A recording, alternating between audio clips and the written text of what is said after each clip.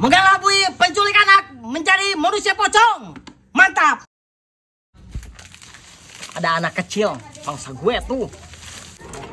Eh, Dek, ikut abang yuk. Nih, dikasih makanan. Yuk, ikut yuk. Gak mau bang, gak mau. Ayo ikut, ayo. Gak mau, tolong. Ah, apa? Tolong ada penculik. Wah, ada penculik. Bahaya ini mah. Kakak, gimana kalau kita takutin pakai pocong nih? Boleh, boleh, boleh.